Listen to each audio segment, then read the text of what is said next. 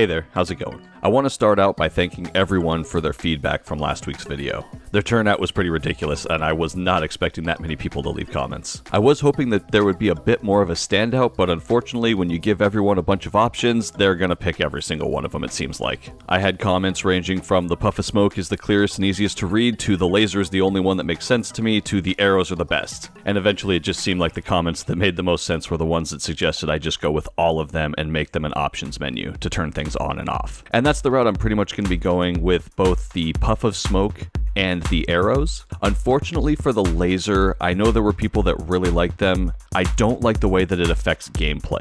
The puff of smoke and the arrows don't actually affect how the game plays or moves. The laser requires a delay when the monkeys screen wrap, and I really don't like the way that affects the flow of play. So unfortunately, I am cutting the laser, but both the arrows and the puff of smoke will be in. The puff of smoke will be there by default. That is the one that got the most comments and the most upvoted comments. So I think I will be making that default, but in the options menu, I haven't built the actual options menu part yet, but I have implemented the arrows working, and they'll just be able to be toggled on and off. So you can have both the arrows and the puff of smoke at the same time if you'd like, or you can choose one or the other. That's at least the plan for now.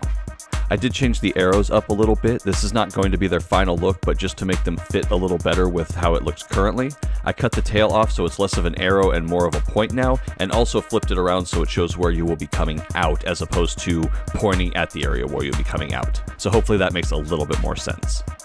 Also, in doing so, I fixed up the code for both the puff of smoke and the arrows. They were kind of basically hacked in before. Now they're implemented a bit better, so hopefully there should be a lot less issues, whereas before they were a little bit janky. So along with playing with the screen transitions, I also decided to start messing with the player collision. I've had it suggested for a very long time now to have the monkeys be able to like jump off of each other's head and run into each other as opposed to just pass right through each other. And it's been something I've wanted to do, I just haven't gotten to yet. So I actually sat down and started putting some time in to see if I could figure it out this week. I started off by creating hit checkers for the top, bottom, left, and right of the players, as well as a center that actually is where they collide. But I ran into a lot of problems. I'm not sure if this is a construct thing or I was just writing the code incorrectly, but I was running into the problem where the two objects would collide and I would be passing back an instance variable that was attached to them, which is their player number.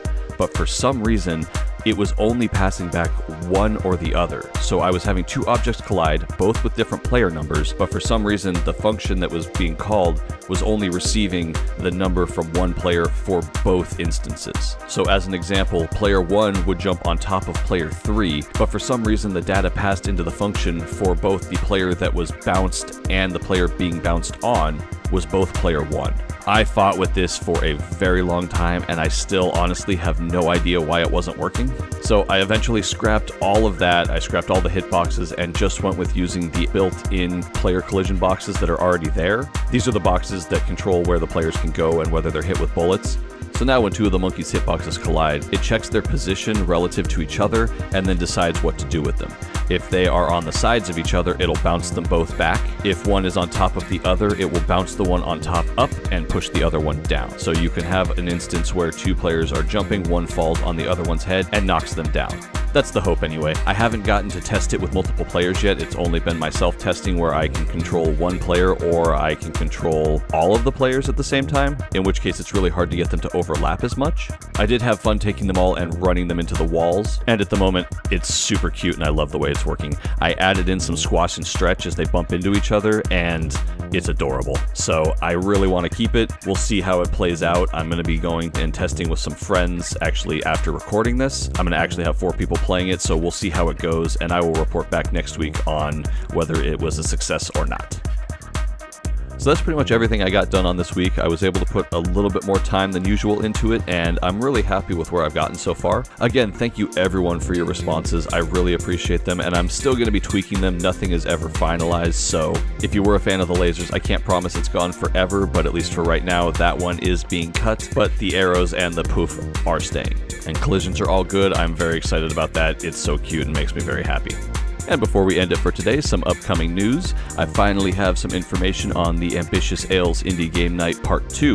If you don't know, Part 1 was actually the catalyst for getting this devlog started, so I'm very excited to keep it going as we roll into Part 2, which will be happening on President's Day, which is February 17th. So, myself and several other indie game devs will have our games at Ambitious Ales in Long Beach. If you are in the area, it is a free event. You are welcome to come, play games, hang out, and just have a general good time. The last one was an absolute blast, and if you're in the area, I highly suggest trying to make it out.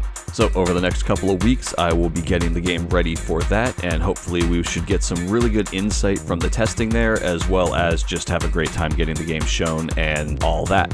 And the last thing to talk about, I have been asked to set up a Discord server for a little while now, and I'm currently in the process of doing that. I have a buddy of mine from back when I used to do Minecraft videos helping me out, which is awesome. So I've been able to reconnect with him and another buddy and get that all set up. Pretty much almost there. There's a few things I still need to do with it to get it finalized. So by next devlog, hopefully next Monday, I'll be releasing the link for anybody that wants that.